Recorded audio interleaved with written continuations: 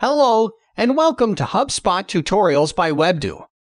I am Mike, your guide and friend. And our today's tutorial is about how to create, customize, and manage your saved views in HubSpot.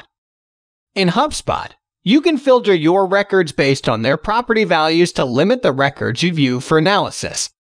This set of filters can then be saved as a view. Let's see how you can do this. First, I will show you how to create a view of your own. Navigate to your records. Here I'm going for contacts. Click on Add View and select Create a new view. In the dialog box, enter a name for your view and select the users to share the view with. Then, click Save. You'll be brought to the new view. Now it's time to filter in the contacts that you want to see in your view. Click the default property drop-down menus above the table and select the values that you want to filter the records by. For other properties, click More Filters and in the right panel and apply the filters. To ensure the filters are saved in the upper right, click Save View and select Save. Else, you can select Reset if you want the view to return to its original saved version. Next, I will show you how to access and edit a saved view. Again, navigate to your records. This time I am taking tickets. If you are in the table format, you can access a saved view by clicking Add View and selecting the saved view.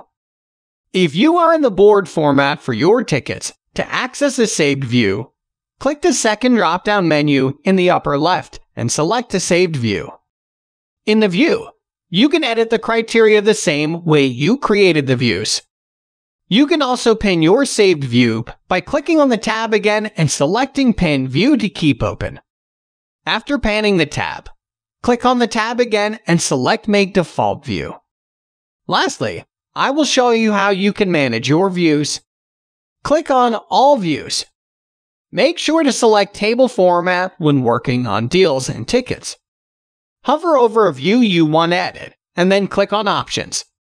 It gives you a provision to create report, clone, delete, manage sharing, and rename your views.